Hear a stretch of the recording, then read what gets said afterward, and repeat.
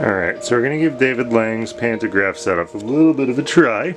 And I have to say my own self, I am quite impressed.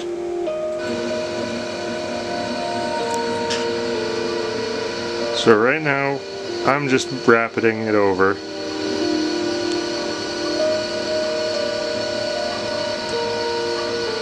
And it's moving quite nicely, adapting to its setup.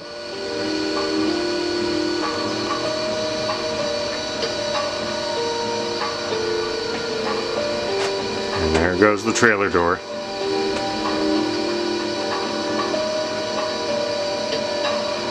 And it's going way, way over.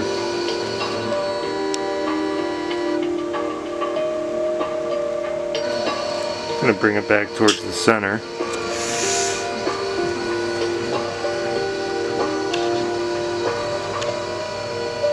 Pardon my focus there.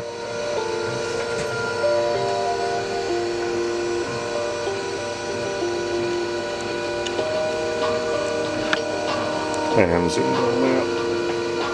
Mother. Uh,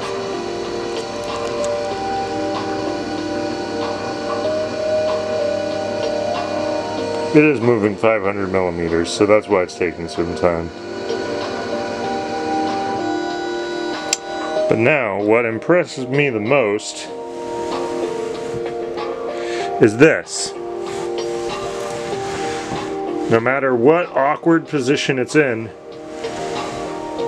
the bit is staying exactly at the center which means that my problems with the wiggle as it's been cutting have just been solved. We'll see how rigid it is in its next setup. No pun intended, of course, with the router, but I'm optimistic.